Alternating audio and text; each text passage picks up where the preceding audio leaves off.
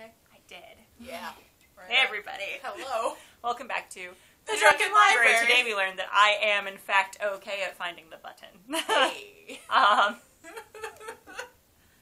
so you know. Practice makes perfect, everybody. That's true. Um, alright, so this is going to be a video about our TBR jar this year slash our Book, Book Riot Riot Read Read Harder Harder challenge, challenge. because if you saw our 2018 goals video, you'll know that those two are the same thing. Yay! Um, our TBR jar was too much pressure last time. right. Also, even for the prompts, we like both wanted to read the same thing, and I feel like that ended up being a little bit more of a hassle than it should have been because like we don't always feel like reading the same thing, so we're Well, just not going to do it that way this and time. also, like, even if it's like, oh yeah, I do want to read that, it's like when it comes up, it's like, I don't want to read that right because it wasn't that we chose anything that like well we did choose one thing that neither of us really wanted to read, but we posted a video about that one. Yeah. Got through it real quick because it was awful. it was the worst. I was very entertained by how awful it was. It was the worst. Sam was I just hated it. I hated it so much. Uh, but I was re- I was really entertaining the video about it Oh, because I got very animated. Yes. yes. we'll link it. We'll Yeah, link we it. um, it's pretty great. It's a great video. but this the book is awful. this time around, we decided to revive the TBR jar because who wouldn't? It's so pretty. Amber made it so beautiful. Um, it was at one point an olive jar, so And olives are tasty. yeah, they're stuffed with delicious things like garlic and jalapeno. Yeah. the ones that we buy. Yep. they're delicious. Yes, they are. Sometimes cheese. Ooh, Um, so good. I think this one was a feta one because that was the first one we tried of those. That's right. Yeah, And then fond memories. we went from taste bud tasty to brain tasty, Mm-hmm. and that's how the TBR. That's how the TBR jar was born. born. Um, but yeah, so we brought back the TBR jar, but this year we're going to be doing it as a way to motivate us to get through the Book Riot Read Harder challenge. So we're going to put all 24 prompts in, In the, the jar, jar. and then we are going to choose two prompts a month. The first couple months, because we didn't do it in January, we're going to choose an extra one. Mm-hmm, mm-hmm, mm-hmm. Or we can always do an extra one for like March and April instead, Yeah, because we'll February already started. But We'll figure it out. either way, there's going to be two months that we'll draw three prompts because we didn't choose any for January. And then we're each going to choose whatever we want to read for those prompts. Yep. For our TBR jar. And we're gonna try to get through them by the end of that month. Right. And so it could sometimes be the same book as each other. It could Yeah. sometimes be different ones. It doesn't matter. It's just a, ma- a way of doing the TBR jar and getting us through the challenge because we both didn't finish last year. Amber got way closer than me. I had one that I Mhm. didn't do. One. but uh, so this is a way to get us to do it and it's also just like kind of a giving you like a TBR but giving you wiggle room still because Yeah. we just don't respond well to pressure we've learned yeah. and it's really dumb because we always put it on ourselves, Ourselves. and then we end up just like not responding well to it and then just like not doing anything and that's insane we just need to like find a better way Yeah. so this is what we're doing this year because we really enjoy like when we get into a good TDL rhythm, we really enjoy it. But like once that rhythm kind of like starts to starts to get messed up it's like it's it's it's really rough and Mhm. like you know we're adjusting to new schedules, we're adjusting to new plans, like life situations, like so it's just it's been So we're trying journey. to get we're trying to get back on the horse, as it were, and Yeah. like we think this is going to be a good way to kind of do that. Yep. And it's also going to hold us accountable remembering to do wrap ups every Yes. month. So because that's when we're going to draw from the jar. Mhm. Um, because giving it its own video seems kind of silly Mhm. every month. But um, Yeah. so that's what we're gonna do. So we're gonna go in this video through the prompts, tell you what they are, and if we have any tentative plans for them, we can mention them just quickly, Mhm. not too much detail. We don't need to talk forever. If we eventually read them, we're gonna do a video either about the prompt or about the specific book every month if we read the same book. So Yep. Yep. we can do that. Um, all right. So I guess prompt number one is gonna be a book that was published posthumously, posthumously, whatever. whatever. Um, so I had some ideas for that, but I've never settled on anything. So I think I might go with the one that Amber is reading. She's been working on it already.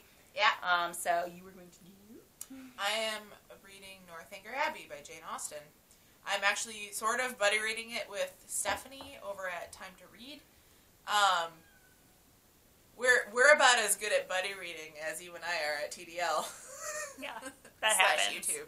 That's fine. Yeah. Um, I like have wanted to read that one for a while anyway because it's Jane Austen's like satire parody of like the gothic genre and Wuthering Heights fits in that genre and it's my favorite classic. Yeah. And so I just want to like read somebody kind of mocking it a little bit. It's funny because like you, it's like when you're reading, like as I've been reading it, I'm just like, oh, she's mocking this so like she's hard. making fun of it so Yeah. bad.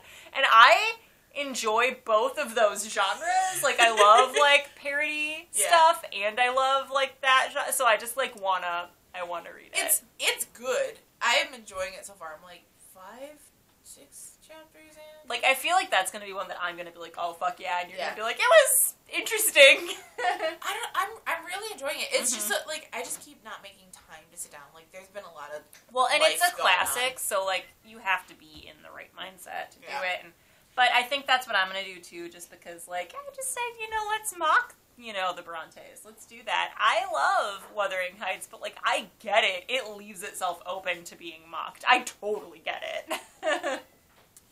it. like it's It's ridiculous, but it's not recalling Wuthering Heights specifically. No, but, it's that it's genre. kind of- It's that genre, and thus, And like, that's where yeah. my brain goes. it's it's. I don't want to. It just it's yeah. It's really good. I'm really Mhm. enjoying it. I just really need to sit down and. Yeah.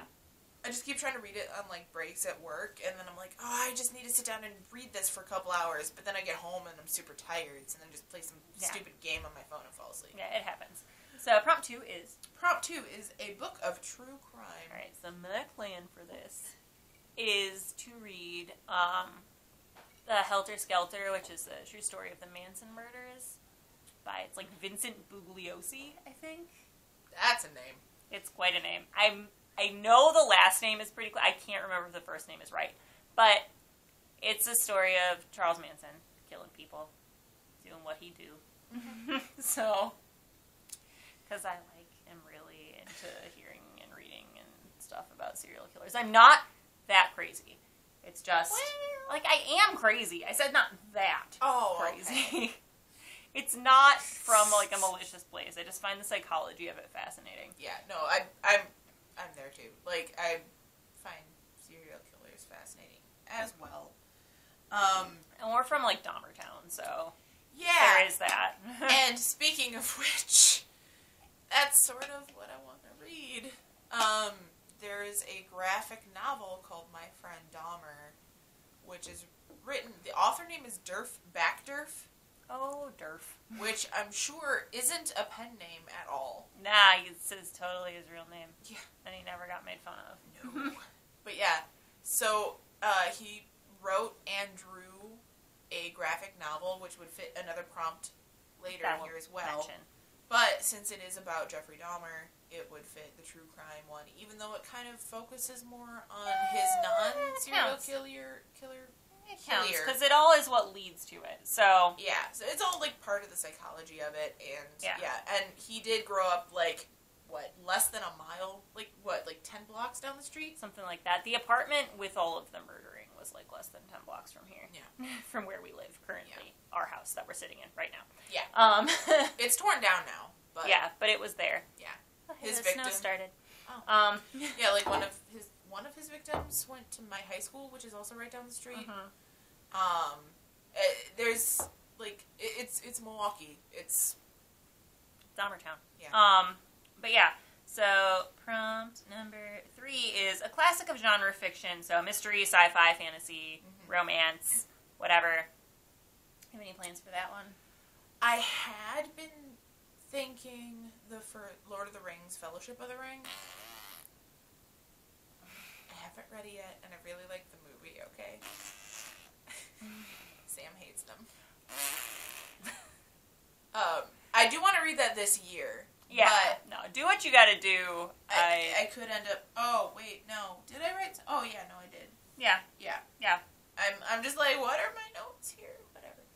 Um, but yeah, I'm open to other possibilities. I'm gonna read that book this year sometime. Yeah. But I might do something else for the prompt if it comes up sooner, Understandable. or if like whatever you end up. I don't know. Yeah. So I was gonna read. Um, uh, I've always lived in the castle. Shirley Jackson. So good. I also thought about using Neverending Story for this because I still haven't finished it. Either that, or I think that one counted for another one in here too. Oh, it sure did. I was Mhm. going to use that Yep. one for another one in Yep. here. Uh, it might not even be the one you're thinking of. Oh. It fits like three prompts in here. Oh shit. But uh, no, I was going to use the, the Shirley Jackson one because I've wanted to read it for a while anyway, and I have the audiobook, and yeah, why not? Um, so yeah, next one. Um, prompt four: a comic written and illustrated by the same person.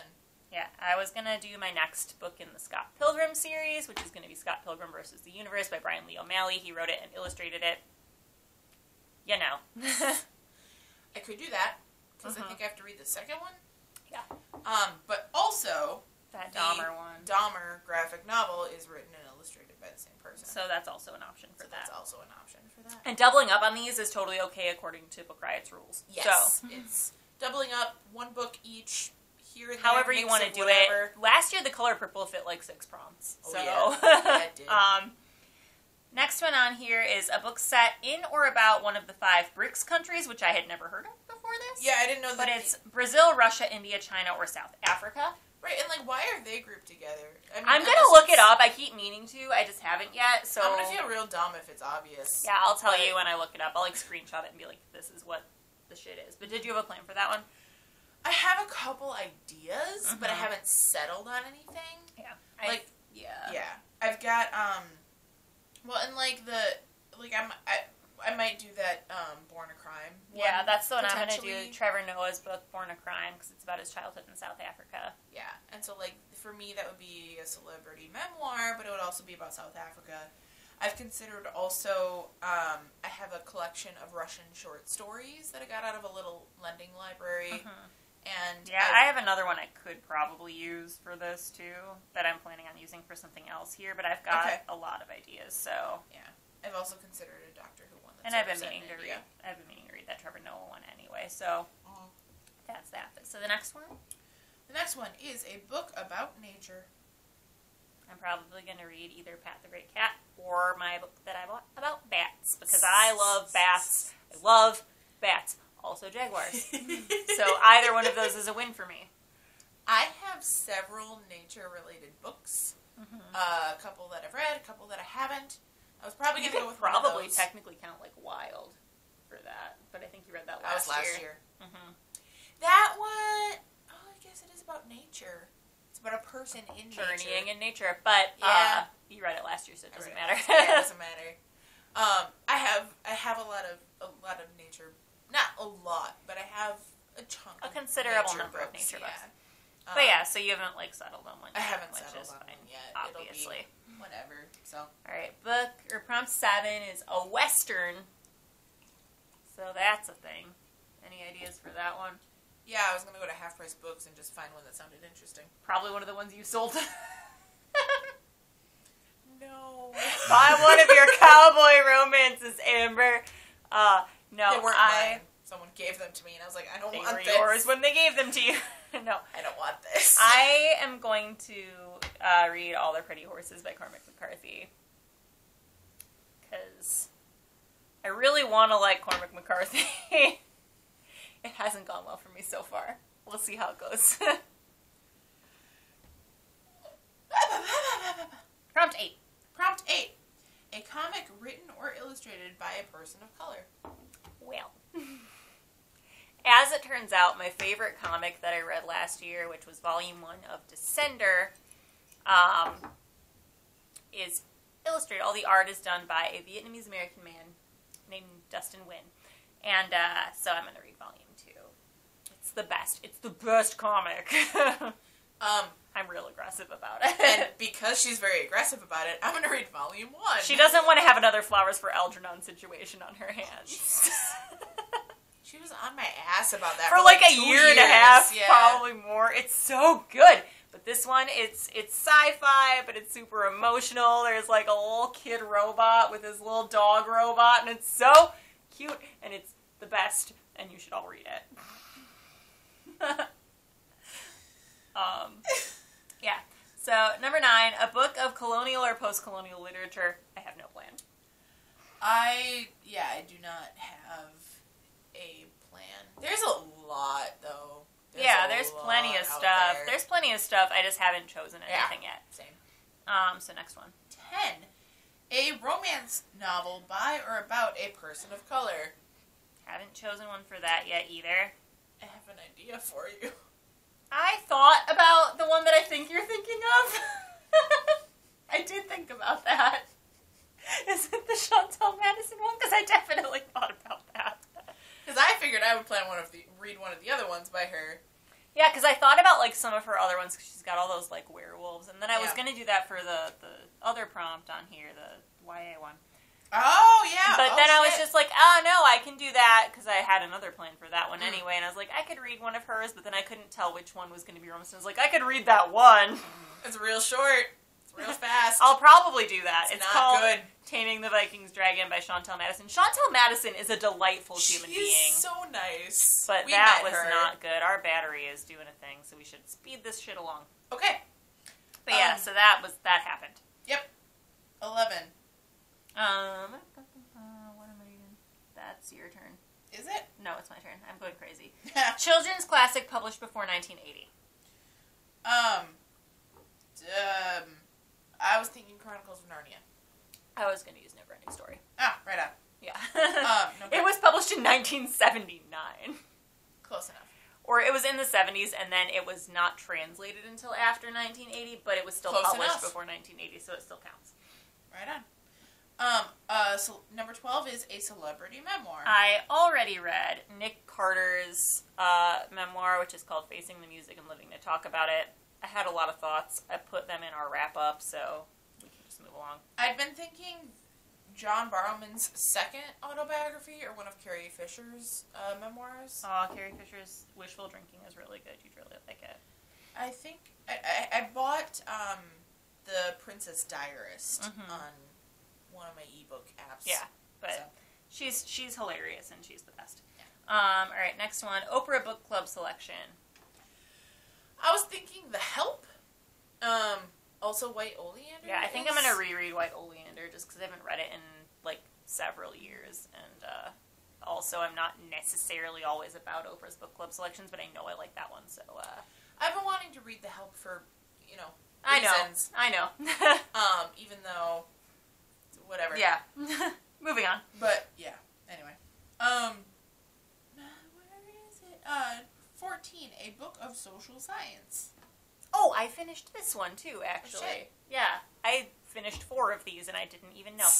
Um, so the I did um the words are escaping me. You can't touch my hair and other things I still have to Mm. explain by Phoebe Robinson. It's really good. It made me think a lot. It's awesome. You guys should read it if you get a chance. Also, she's hilarious, so there is that. Nice. I was thinking of finally reading my Kat Von D book that I bought in 2009. All right, next one on here. A one sitting book. A one sitting book. Um, I don't have anything written down. I've got a lot. So They exist Yeah. about the world. I read um, Talking as Fast as I Can from Gilmore Girls to Gilmore Girls and Everything in Between by Lauren Graham. I'm like into the celebrity nonfiction this year. Come at me. that, I was. I was. Yeah. Yep. but that one's really good. So I listened to the audiobook for part of it, and then I had to drive home from work, and I continued listening. Then when I got home, because I have the physical book, because Amber bought it for me, I read the rest of it. It's really good. Um, the first book in a new to you YA or middle grade series. I read um, Who Could That Be at This Hour by Lemony Snicket. It's the first book in his All the Wrong Questions series, which is a prequel to the series of unfortunate events. I was thinking the um, Golden Compass, the first in his Dark Materials trilogy. I support your choice. So, yeah. Um, a sci-fi novel with a female protagonist by a female author. I was thinking something by Octavia Butler or Ursula K. Le Guin. Mhm. Haven't decided. I am gonna either read one of the many things by Margaret Atwood I have that I haven't read yet, or I was gonna read Yargo by Jacqueline Susann hmm. because I love her other books, and this one's a sci-fi, and it was the first book she wrote, but it was the last one of hers that was published, and it was actually published posthumously, so I could Oh. technically use it for both. Yeah. But either way, So recommendations for that for me Yeah. would be appreciated. but it's like my favorite genre and one of my favorite authors who normally writes in a different genre, so I just kind of want to give her a shot. Legit. Um, a comic that isn't published by Marvel, DC, or Image. plan for this is to read the second volume in the Lady Killer series, um, which Okay. is really good. It's by Joelle Jones, I believe. My plan is to read the first volume of the Lady Killer series. It's about a 1960s housewife who is also an assassin for hire. So, and Ah. it's the art and the writing and everything is done by a team of women. It's pretty great. right on. The first one was like you could tell they didn't really know where they were taking it yet, so I'm interested Okay. to see where it goes. Right on. Yeah. I love how you read like all the comic ones. um, all right, so the next one is a book of genre fiction in translation. um, no idea. Not a clue. I was planning on reading We by Evgeny Oh. Zamyatin because it was originally published in Russian and because Megan loves it and we're both super into dystopian, so And you're the same person. we're the same person. Um, and she said it made her question what her favorite book was because it's always been 1984, but this is like the book that inspired 1984. Oh shit. So I want to read that. Um, a book with a cover you hate. I don't know about this one. Probably like some sort of shady romance novel. Oh shit! I could use Lord of the Rings for this one because it's a movie. Oh yeah, you've got the movie covers. Yeah. Um, all right. So next one, a 21. mystery by a person of color or an LGBTQ author. I don't have a plan for this one yet. I don't either. I don't read a lot of mysteries, so I'll look into it. Although I think a couple of those books that I picked up at that when I went to that Irish thing with Kyle, and then they had all those free books there. Mhm. Some of those are mysteries. Yeah. So, But we'll see. We'll see. We'll see what happens. um, twenty-two, an essay anthology. I could count uh, You Can't Touch My Hair for that one because it was an essay collection. I don't know if I'm going to or if I'm going to read um, the one that I didn't read last year, The Secret Lives of Geek Girls, or uh, I have another one that's like, it's called Slut, I think, and it's a, a collection of essays by women about like stereotypes as women. So I've got some options. I was thinking of um, this book called uh, I don't remember what it's called. For the love of books or something. It's a book. Yeah, it's, it's it's a book. it's essays, about books. But yeah, I'm you've had it for a while, Yeah. so. Um, all right, the next one on here, it's number 23, is a book with a female protagonist over the age of 60.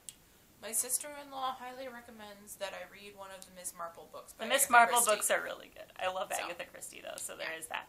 I haven't decided yet. Maybe I'll do one of those. Who knows? We'll see what happens. right on. Maybe I'll read The Notebook because she's over the age of 60 when she dies. All right. We'll see how I'm feeling. We'll see. Um, But yeah, so uh, our camera died. our camera died. So We weren't quite fast enough. nope. Um, we talk a lot. Yeah, we you all know. um, but yeah, so uh, we switched to the phone. Um, but so we're gonna redo prompt twenty-four. 24, which is an assigned book you hated or never finished. All right, so I was saying I have two options for this. Okay. One of which I never finished, both of which I hated. Oh, okay. So the first one is the one that I never finished, and that's Black Boy by Richard Wright. Mm. I just hate his writing style. I feel like he spent a lot of time in that book blaming a lot of his life's problems on race, which obviously race causes a lot of problems, but a lot of the problems specifically that he addressed were more related to his relations with his own family. Mm. And it was just like the way a 17 year old me read it, it just was like not driving with me. And also, the second half of the book just kind of turned into this like somewhat non-linear communist rant. And it just like didn't really fit with the first half, and so I didn't finish it. It was real weird. So I'm going to give it another chance because I've also coming at it now with a different perspective, with more awareness of like race relations stuff, and Might read it. so I might get it and feel differently about it because like I haven't lived that experience. So obviously I don't really know everything, but like reading it just like I didn't get much out of it at the time. Mm-hmm. But my other option is As I Lay Dying by William Faulkner, which is the worst. It's the worst. It's the worst, and I hate it. um, I hate it. I would rather read Lord of the Rings than read that book. It's the worst. I hate it. Damn. um, You guys, she must really hate that book. She hates Lord of the Rings. I'm not sure if you're familiar with the premise of As I Lay Dying. Is that the one that I bought? I don't know. But it now. is basically that this woman dies Okay. and then her family transports her across the country in the back of their vehicle to go bury her somewhere. And there's a rotting corpse in the back of their vehicle this whole time, and her daughter's pregnant. And her son's an idiot, and her other son talks about fish way too much. There's an entire chapter in that book. It's chapter 19. And the entire chapter Oh. is My mother is a fish. It's the worst. It's the worst. Incidentally, my husband really enjoyed that book. He's an idiot. I love him, but that book was the worst. so I might reread that because I guarantee you you would get a really entertaining video about it. Maybe I'll read both to stretch my horizons. Because the one would be a really entertaining video, and the other one, I just feel like maybe I'll get something different out of it now as an adult, and that could legitimately benefit me. Right. And obviously, I would like to grow as a person. I um in in my years of, of varying levels of education, there are many books I never finished reading. Cause I am not I have not historically been a good student. Um, I'm too impulsive and I procrastinate too much. But the one that I remember the most distinctly is never finishing the Scarlet Letter. Hmm. I never got past the first page. I was just like, what? What? Nope. See, I love the Scarlet Letter. I think I could enjoy it now. Mhm. I think I could understand it now, but at the time I was just like, how did I end up in this AP class? I don't know. I don't want to read what this. are these things that I'm reading? Yeah, Yeah. no, it's that's just I was like a little goody two shoes nerdy pants in my English classes. So like the fact that there's even one that I didn't finish is honestly kind of astonishing to me. Yeah, I'm kind of shocked actually. Yeah, so we'll have um did we show the jar in the video? We did. We, We did. did? We can show it again just to All be certain. Here's So- our beautiful TBR jar. It says jar. to be read. Yumber collaged it. It's very pretty. It has some Dr. Seuss books on it. Yes, it does. It's returning after a long hiatus. Yes, it is. and it's new slash improved. Yes. The jar, there was really nothing wrong with it before. It was the content. It was the content slash us trying to deal with the content. Yep. So yeah, so that's yeah. what we're we're doing. That's what we're working with. this year. This is our TBR for Book Riot Read Harder. Any recommendations for any of the prompts, even if we're already solidly committed to it, thoughts and comments and whatnot And are always us some- appreciated. let us know if you're doing this challenge or if you might want to join in on this challenge Mm-hmm. because it's never too late to join. And apparently, if you send them your like a picture of your list with all the things Completed completed, ones. you get like a discount in their store. So that's cool. Finish it this year, hell yeah! But yeah, so let us know thoughts, comments, concerns, Recommendations, anecdotes, buddy read requests, knock knock jokes. any, anything you want. knock knock jokes. I told you I used to do that in my team meetings at CapTel. It was always just like anybody have any comments, questions, concerns, anecdotes, knock knock jokes. I might have been there for those. I you don't probably remember. were. You were on my team for like three and a half seconds. Yeah, So, that's fine. It's fine. but yeah, that's our our shit. Uh, have a great day. Bye. Bye.